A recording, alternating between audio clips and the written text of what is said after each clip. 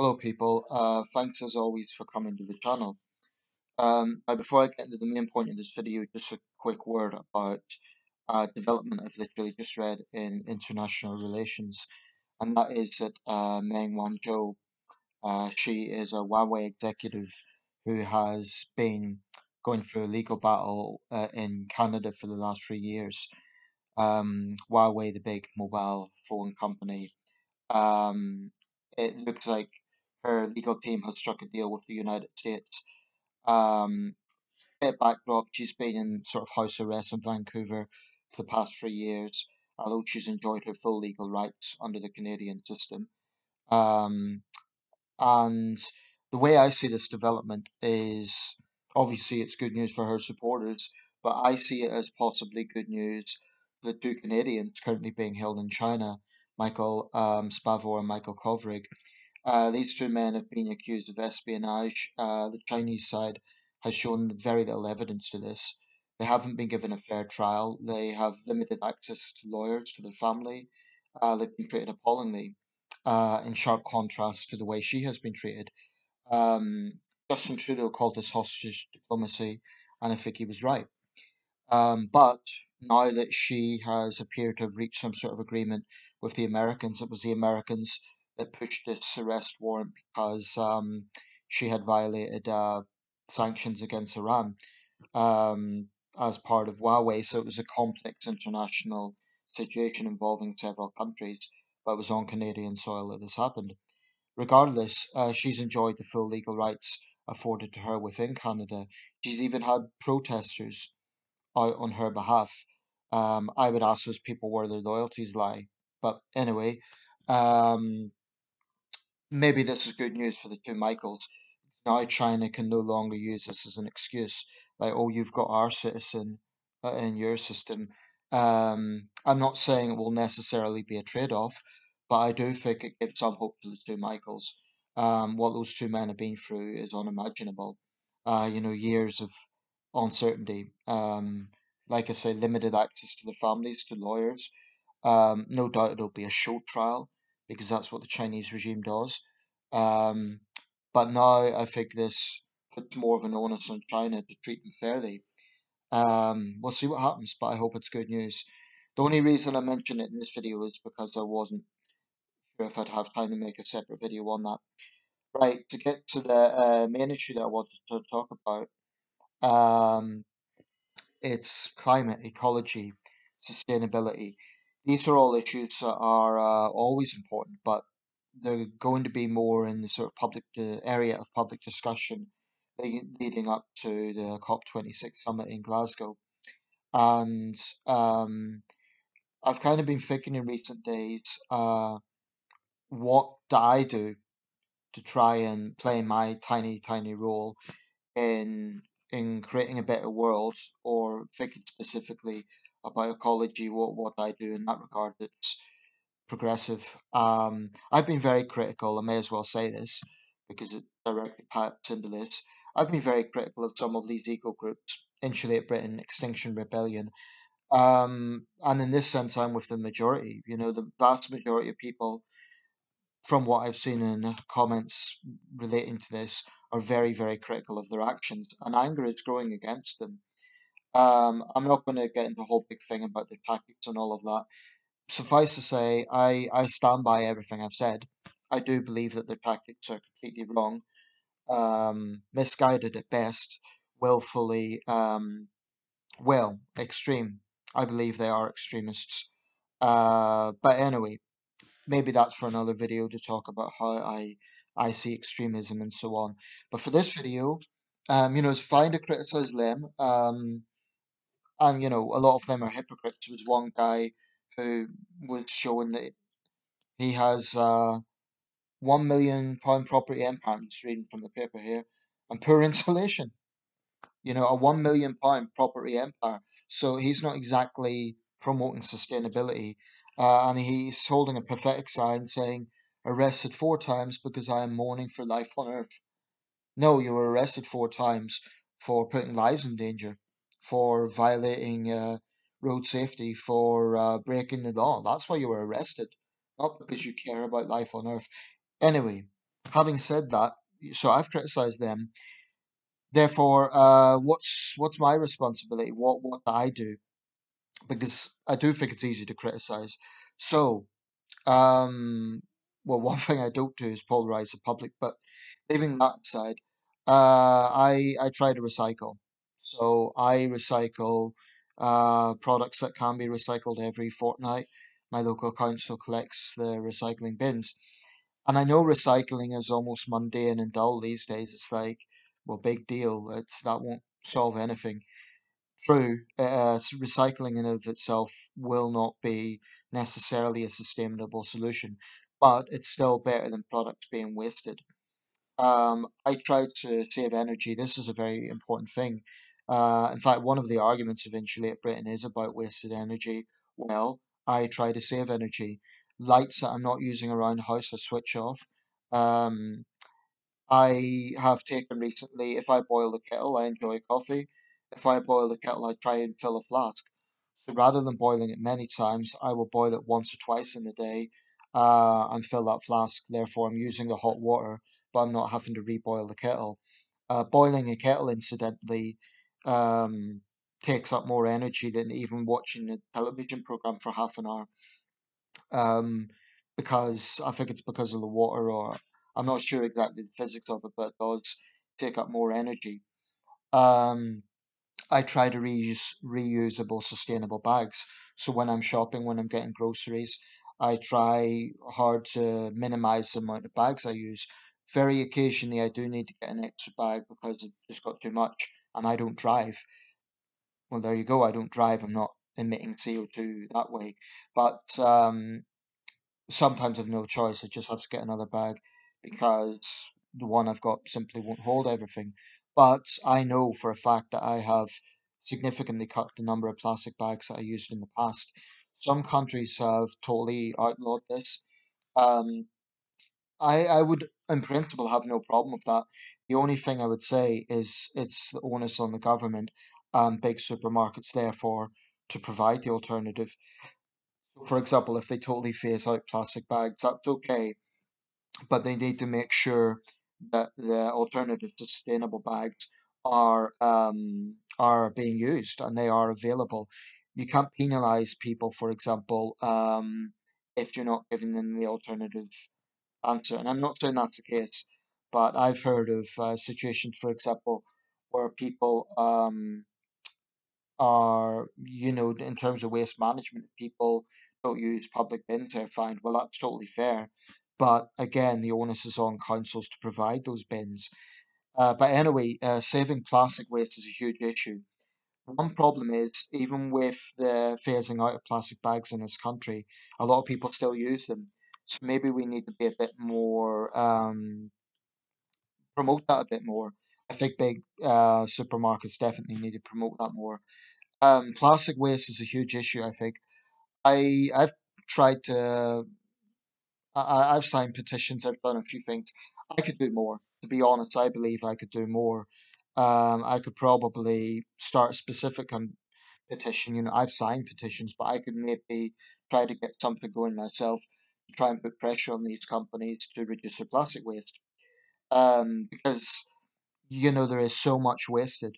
When you see food products that are sustainable in of themselves, i.e., they're not products that will go off without being covered in plastic, they're things that wheat can last quite a long time. past a week. that's you know, if that's not covered in plastic, it will it will last as long as it's in a cool, dry place.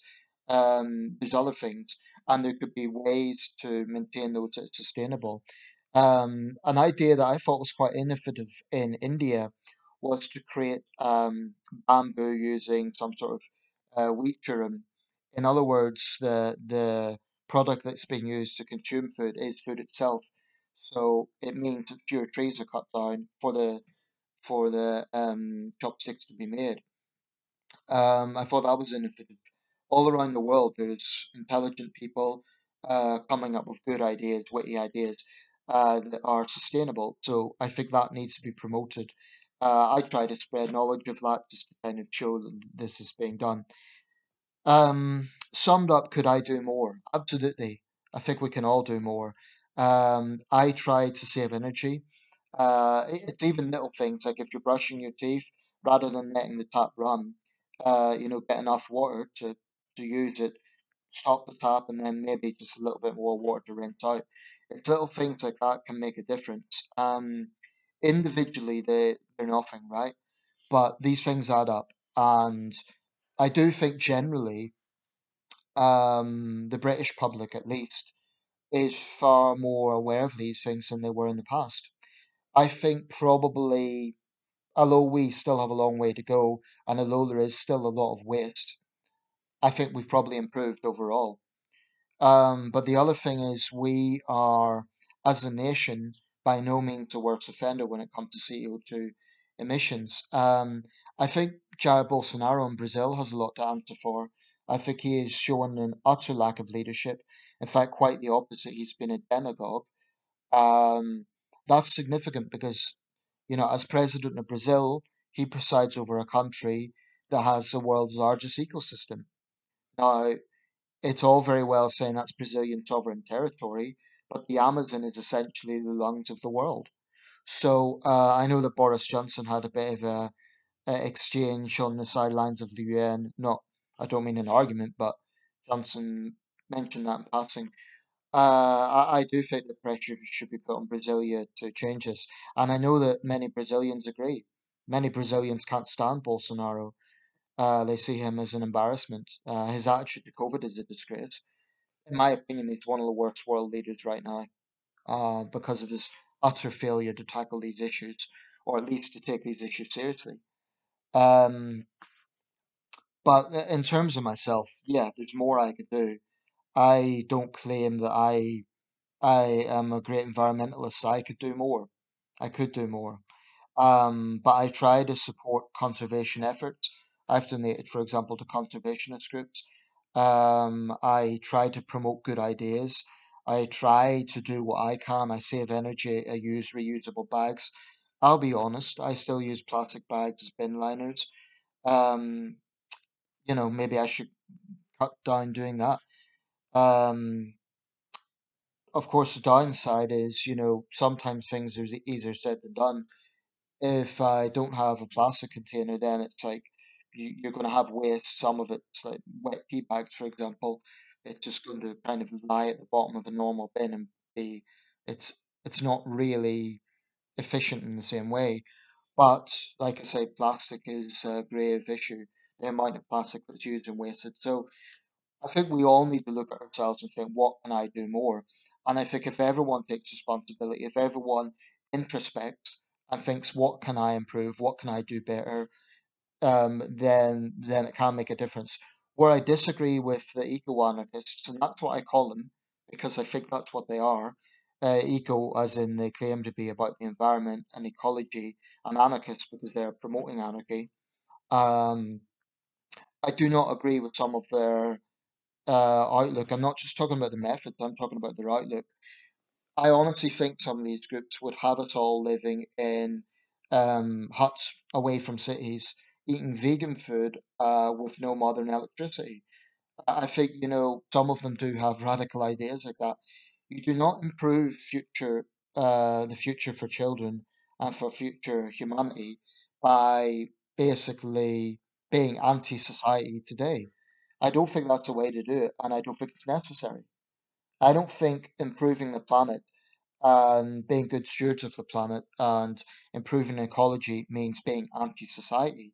I think it's about looking at creative, sustainable ideas. Another thing, I don't share the dystopian worldview of Extinction Rebellion. I believe that climate change is a serious, serious problem. I believe that rising temperatures are a serious problem. Uh, do I believe that billions of people are going to die within five years? I think that is irresponsible hyperbole. I think it's irresponsible to scare children into believing that. Um, so, summed up, I think the problems are serious, more than serious, severe, but I also don't believe that the dystopian, uh, overt negativity that the likes of Extinction Rebellion promote is healthy either. Um, I mean, one thing about Extinction Rebellion that gets me, Insulate UK is a bit more specific. Uh, why are they not promoting good ideas? Why are they not promoting green business? Why are they not promoting sustainability? It seems to me that all they do is protest and complain. Now, surely, if they want a better world, if they want these things to change, if they want sustainability, they would be promoting those things. Now, surely that would be a more practical way to get the public on board. Say, look, support green businesses, support sustainability. That way, they're not polarizing the public and they're doing something practical. Um, but it's not just their responsibility, we all have a responsibility. I do believe that these eco groups are really making enemies of themselves, and I don't think they're an asset to the sustainability movement. I don't think they're an asset to ecology. I really don't. I think they're causing more problems than they think they're helping. But um, I do believe that, you know, the wider public, we can be angry with those groups. That doesn't mean that there isn't an issue, and it doesn't mean that. Um, I think another thing is not allowing them to get all the attention because there's more important issues going on than the selfish and reckless tactics of Extinction Rebellion. The more important issue is climate change. It is rising temperatures. It is rising sea levels. Uh, those groups, you know, they think they're the only ones that care. That isn't true. A lot of people care, but it's all very well saying that. We have to practice it by personal, um, by personal experience, by personal um, example, sure, but personal responsibility. I would say, you know, this is not just about governments and big companies. It's also about us as individuals. I don't believe Britain's the worst, but I do think we waste too much, particularly plastic. Um, it, it's absolutely ridiculous that McDonald's is still producing toys that a child will look at for five minutes and throw away.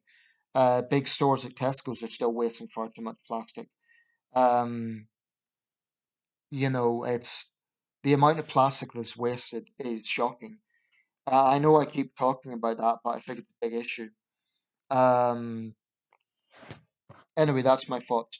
So have a think about it. What do you do to personally try to be sustainable? What do you do to personally try to improve the environment?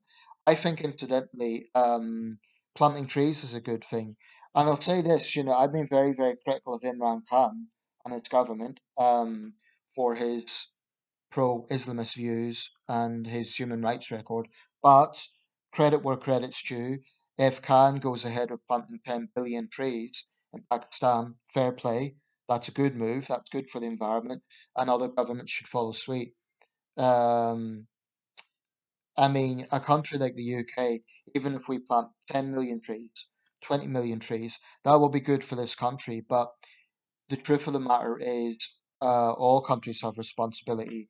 In China, uh, Xi Jinping has stopped funding the coal companies, apparently. That's a good move. Um, but this is a difficulty, you know. A country like China is kind of going through its industrial revolution phase. So inevitably heavy industry is involved in that, including coal mining, which is of course what we had in this country, including this region, for a long, long time.